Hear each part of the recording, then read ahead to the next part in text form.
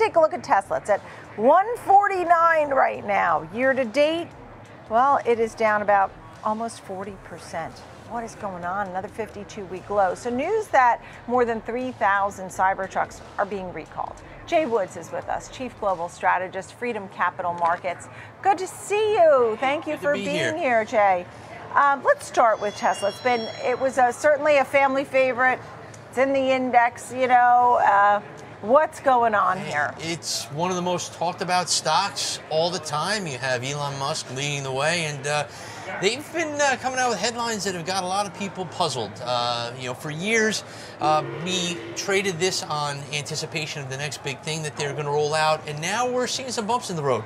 Uh, you mentioned the Cybertruck today was, you know, delayed uh, or having some recalls. Well, before the recalls, there were delays in rolling it out. The charge, which was supposed to be 500 miles per charge, only came out at 340, and then it, the uh, the price point was much higher than people anticipated. So there was a delay in rolling it out. Then when they did, uh, it didn't meet what people had hoped. So there a lot of questions. And then last week, uh, Reuters had reported through Twitter that uh, you know the Model 2 may not be happening. That rollout may be delayed or not Yeah. happen at all. Elon Musk just replied, "That's a lie."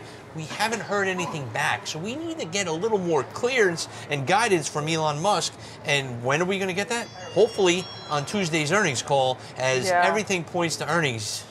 Let's break this down. There were no injuries or accidents because of this recall of the Cybertruck.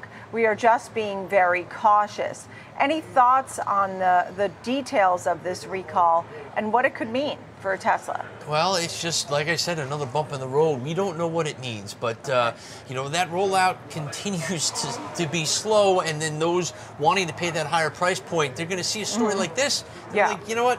Maybe I'll wait. Uh, they want to see this thing tested, road tested, a little Right. more often. Um, and then you, you talk about the other rollouts that have been delayed. Um, the, Yeah. the Semi, the Tesla Semi, that was supposed to be a big revolutionary idea. They've only rolled out one. Uh, we haven't seen it, and now he talks about autonomous driving. Uh, Elon just tweeted on 8-8, August 8th of this year. They're going to announce uh, their robo-taxi. Well, Yeah. usually that causes the stock to rally, and, and it didn't this time.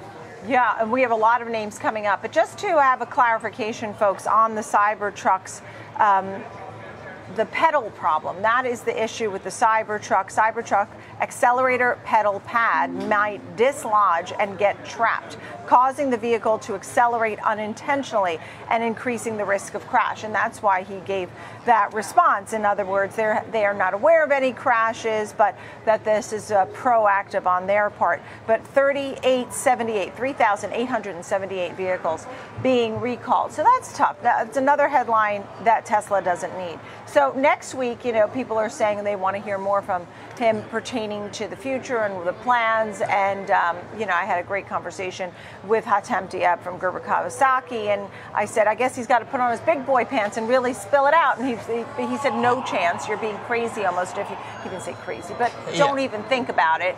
He, um, Dan Ives was so disappointed in the last call because again he just he didn't give any sort of clarification on the future. Let's get to some of the other names. So tuesday is tesla we'll also hear from verizon. But sticking to the the names in the um, you know the, the magnificent meta google microsoft are wednesday and thursday. Some thoughts on those names? Yeah, do I you mean- like any of these? I, I, I like them over the long term, but what we're seeing in this earnings cycle, which just began for the first week, this full week, is stocks that are beating.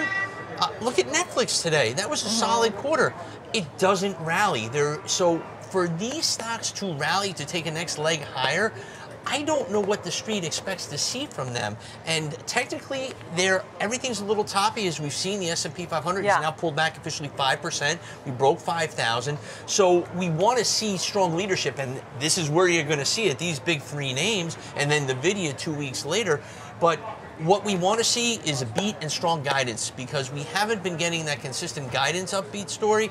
Uh, So that is what we're going to look for. And Right. you know, Microsoft being the largest stock out there, that Yeah. that's going to be the one to watch. Look, and I just looked up, for example, Meta and Microsoft and Google are all just off their highs that Yeah. they've hit recently. So um, they've all done, you know, pretty well. I'll, I'll say. I mean, Tesla's a different story. When you think about what's going on in the reaction of the market today, really shrugging off um, Israel's strike on Iran, that retaliation that was somewhat limited. Yeah.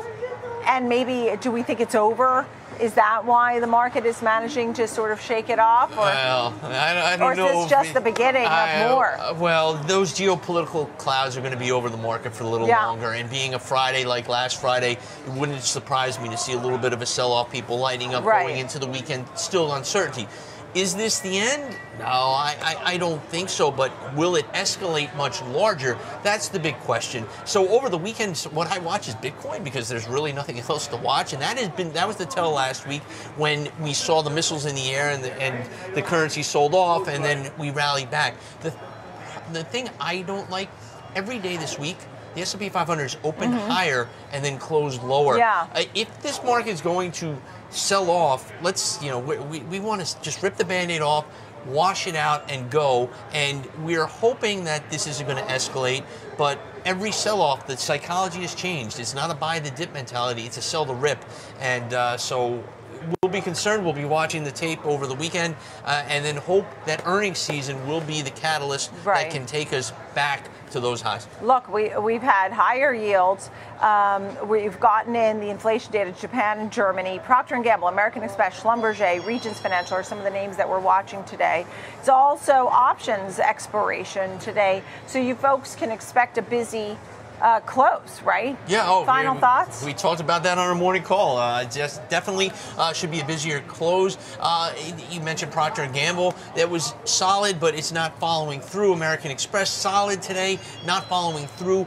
Stocks in the financial industry that did well, like a Right. Goldman Sachs, um, they never got back to those 52-week highs. So watch, as you mentioned astutely, Microsoft near those 52-week highs. Yeah. That to me, if that can change, maybe the narrative changes right now. But uh, the psychology seems to be sell these rallies until uh, otherwise posted. Jay Woods, Chief Global Strategist, Freedom Capital Markets. Great to see you. Thank you so much for being with us, Jay.